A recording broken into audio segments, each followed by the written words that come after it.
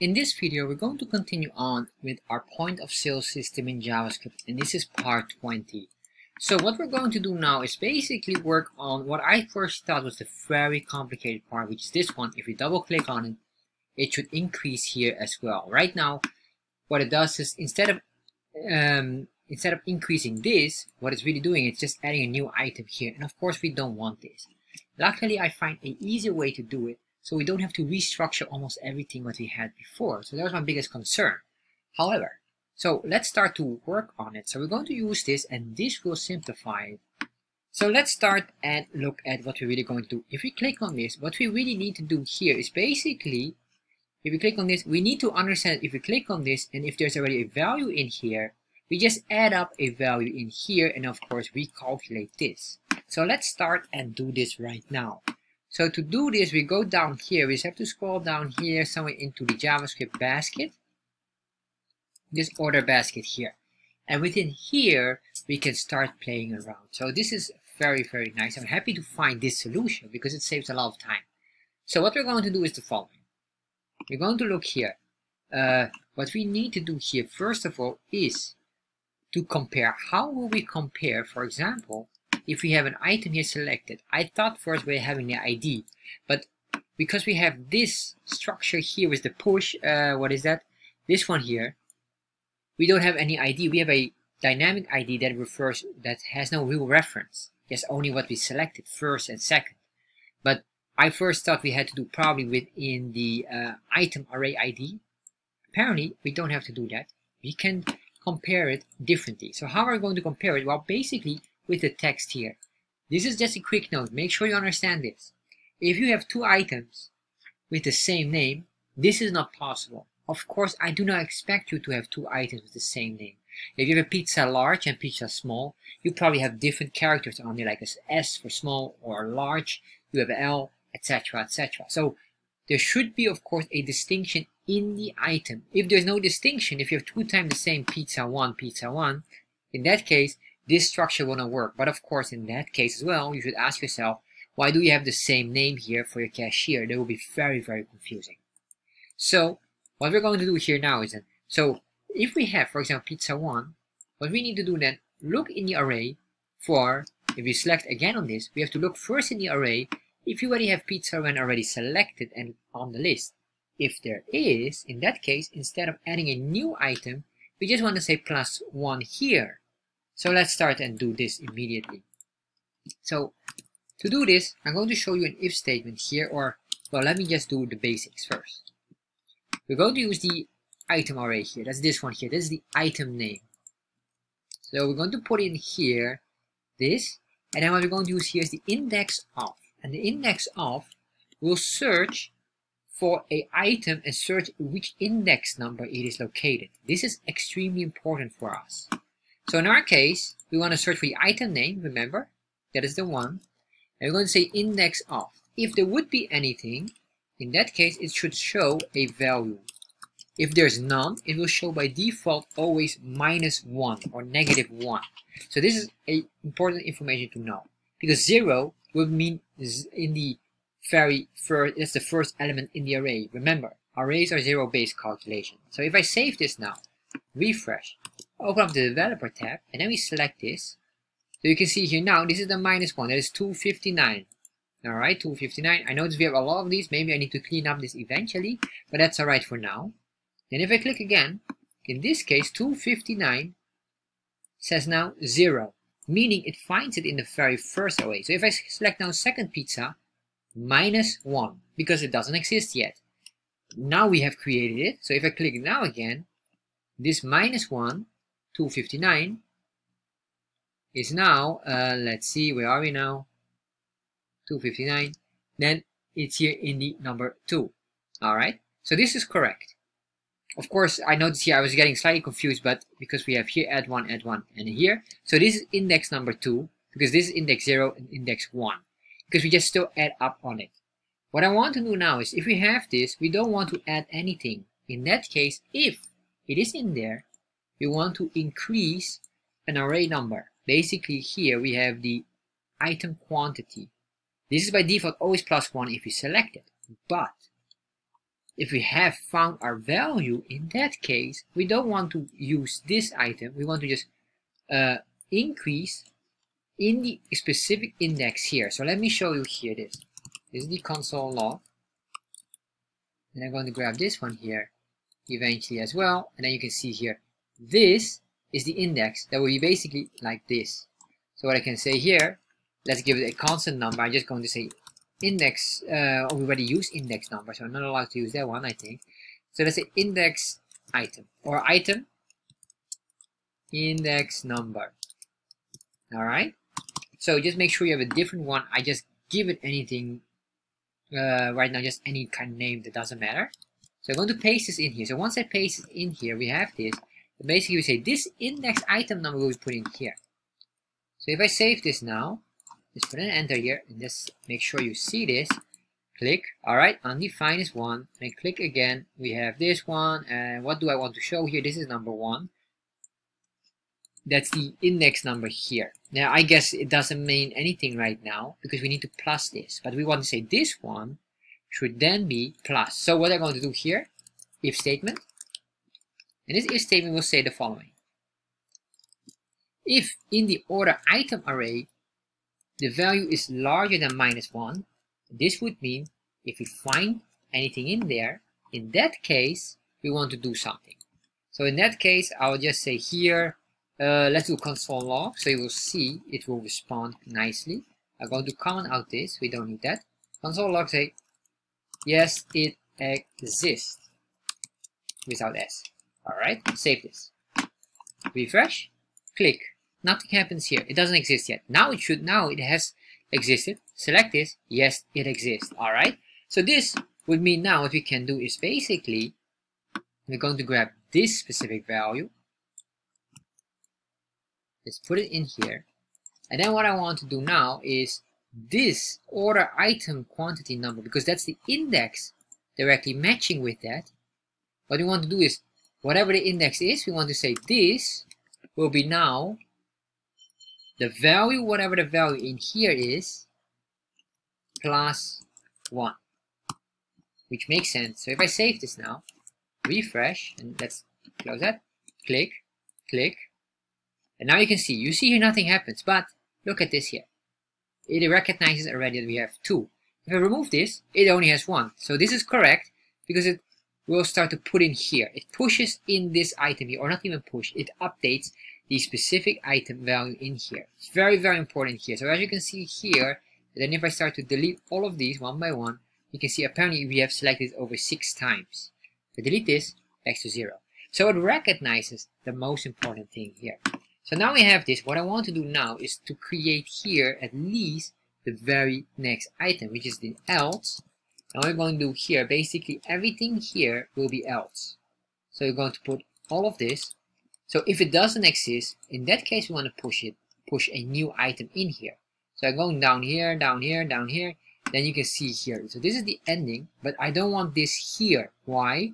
This is the iteration still. So this iteration needs to be up here, while the cost calculation and the total item should all be calculated. So this is all fine, and I guess this we can just comment out or, remo or remove this. We don't need that one. And here I saw, I noticed I type here it, uh, iterate, which doesn't make any sense. It doesn't. It's not even a word. And the main reason why is I work with a uh, common term is called uh, itinerary, and so that's probably the reason why. So this would be iteration. So sorry about the iteration. That's the right term for this.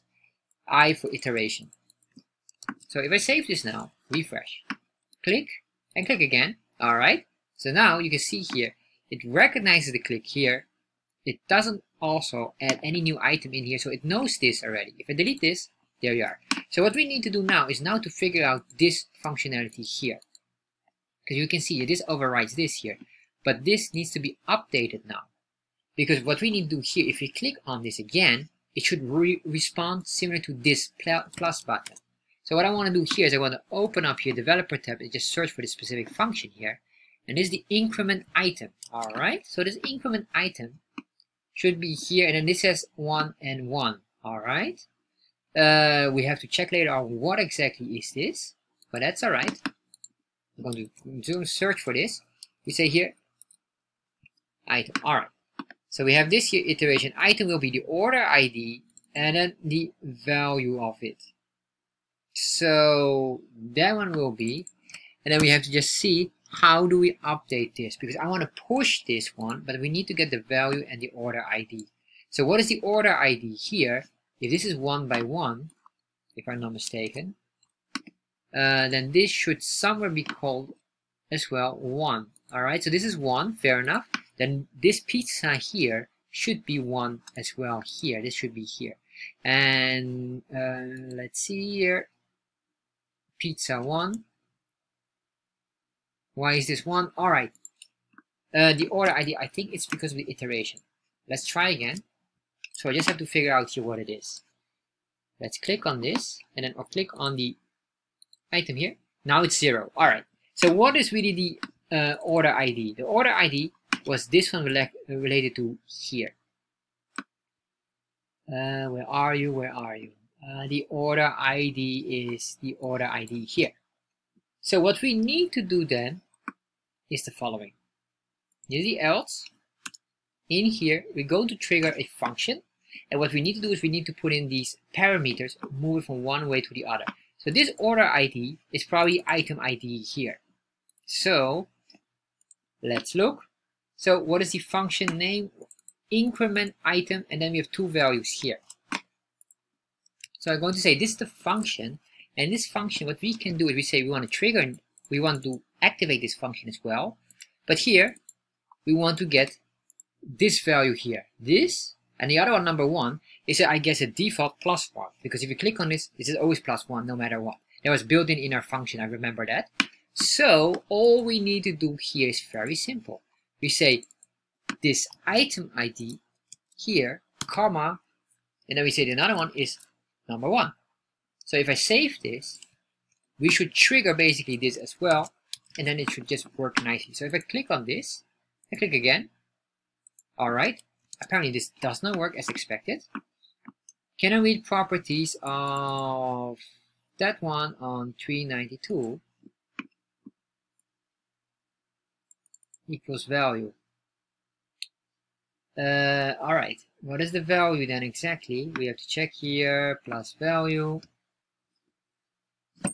Then we have the index of, fair enough.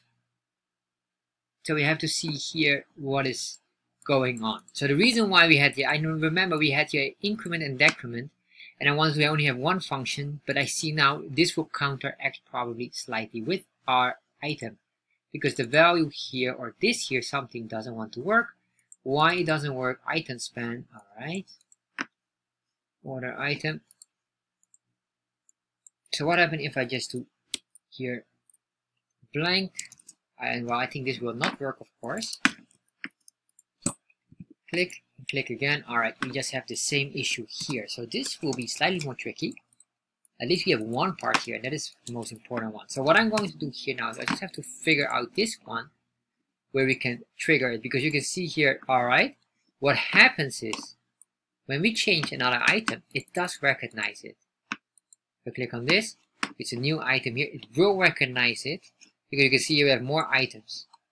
Click on this, this will work as well. And here again, this will work. Everything works except we have one issue here. I'm going to figure out this one, so I will pause the video quickly. Alright, so I figured out where the issue is. Alright, so the issue is very, very logical. I'm going to show it to you, and, and then if you see it, you will understand as well very quickly. This is our issue. This is incorrect, and I thought I did it correctly here, but it is not. So uh, this, and the issue was eventually related to number 394. Alright, so we go down here.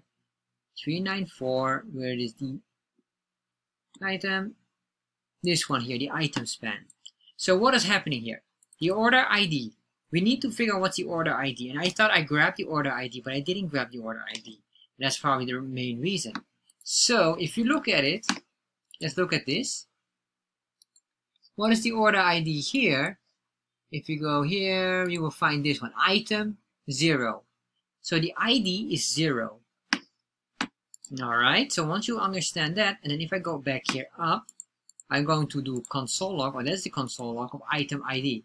So if I go here now to the console again, the item ID, which should be this one. Well, let's save this and refresh. Let's see if it works. Oh, it doesn't show yet. Uh, of course it doesn't show it because it is not triggered. Does it? Ah, here you are. Once you click twice, it is number 12. So what is going on here? Number 12 was not related to what, what we need. Because we need array 0. Because it's the first one in the array. And that is apparently this value here. So, but you cannot say, well, let's be smart and I'm going to just put an i in here and then we problem solve. No, and the reason why is, well, let me show you. I'm going to show it to you so you understand immediately. That makes far more sense. Save this, refresh. So if you say this, alright, this doesn't work anyway. But if you would delete an item, the incremental changes. So we cannot do this. So this is not the option here. What is the option is we need to get the index number. Basically this one here, this item here together connected with this that is being pushed in here. So where is it being pushed? Let's search for it.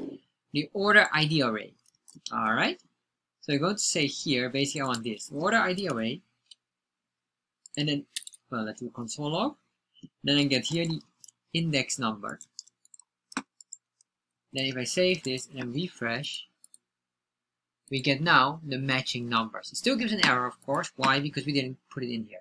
So now, just cut out this, paste this in here. We can just remove this, save that, refresh. So if I click now, there you are. You can see this is now nicely streamlined and connected. And if I do this and then I say clear this, then again press this, alright, you can see here, and clean up everything. I don't want anything more, and then oh, I want again pizzas. Alright, then clear it again, and then press here, alright. Try this. We have all of these things here, and we are, beautiful.